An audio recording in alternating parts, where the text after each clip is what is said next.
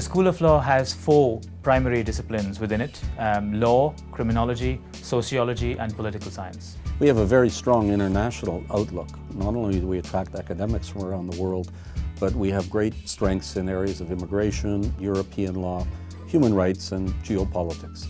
Before coming to Middlesex, I was the founding director of the Irish Centre for Human Rights. I've also done a great deal of work for the United Nations in the field in Africa, Asia, and basically around the world. Well, our law students develop uh, very important skills in the area of mooting and legal research. We were one of the first universities to have a criminology department.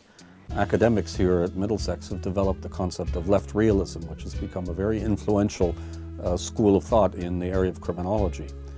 Um, we also have close links with the Metropolitan Police, and some of our academics are former police officers. Uh, all the departments within the school are involved in academic research. For example, our politics undergraduate program leader, Peter Hough, has recently completed some work which looks at the geopolitics of Arctic resources in the face of global warming. It's very important work. Our Crime and Conflict Research Center has found that rates of teenage binge drinking appear to be falling due to positive peer pressure and public health campaigns. These uh, areas of research help the government develop policy for the future. Our students are encouraged to take part in our annual series of debates in areas of law and public policy.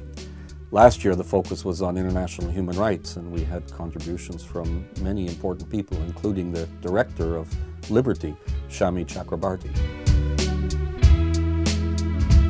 Middlesex is a great place. It's a real pleasure to, to, to, be back for a real conversation. I find a place that's uh, very engaged and engaging.